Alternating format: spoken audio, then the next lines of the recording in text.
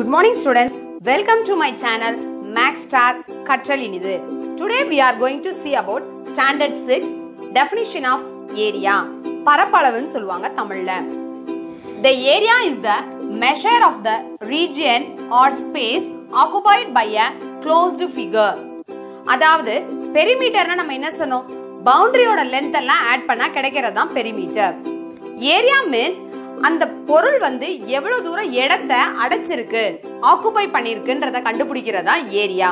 For example this is a table இப்ப இதோட boundary நான் சுற்றளவு இது அப்படி சுத்தி வந்தேன்னா இந்த பவுண்டரியோட லென்த் எல்லாம் ஆட் பண்ணோம்னா எனக்கு கிடைக்கிறது பெரிமீட்டர் அதே ஏரியானா என்னன்னா இந்த டேபிள் எவ்வளவு இடத்த ஆக்குபை பண்ணிருக்கு இந்த இந்த ரூம்ல அப்படின்னு கண்டுபிடிச்சோம்னா அதுதான் ஏரியா.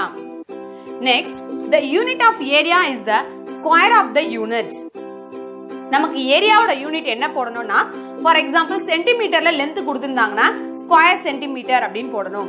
ஏன்னா நம்ம ஏரியா கண்டுபிடிக்கும் போது அந்த சைடையும் சைடையும் லென்த்தையும் பிரெத்தையும் நம்ம மல்டிபிள் பண்ணுவோம்.